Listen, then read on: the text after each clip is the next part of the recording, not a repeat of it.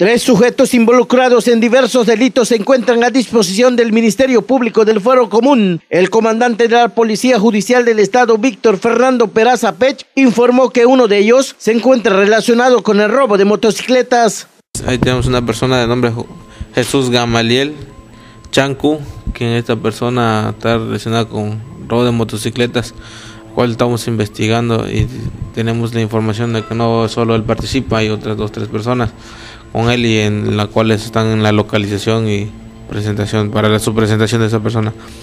Entonces, este, nosotros estamos haciendo las, las investigaciones y para realizar la, información al Ministerio Público y el Ministerio Público nos gira las órdenes correspondientes para la localización y presentación de esa persona. El comandante de la Policía Judicial del Estado dijo que se investiga también al detenido Jonathan Clemente Cruz, quien está relacionado con el delito de robos a casa habitación. También está relacionado con un robo, un robo de bicicletas, triciclos, y entonces todo eso estamos investigando igual en cuáles otras averiguaciones puede estar relacionado para que declare con relación a las mismas.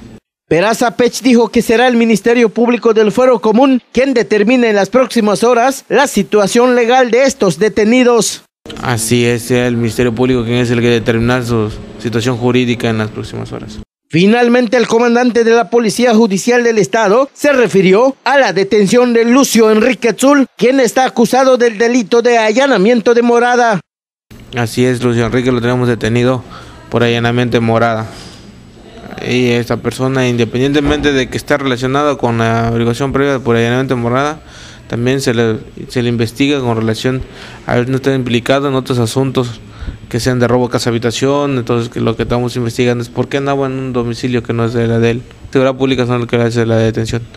Nosotros estamos en una investigación en la cual también está relacionada con robo de motocicletas, tenemos unos avances, entonces vamos a, a determinar quiénes son los grupos delictivos de robo de motos. Para Reporteros Sin Fronteras, con imágenes de Benjamín Carrillo, informó Ponciano Paul.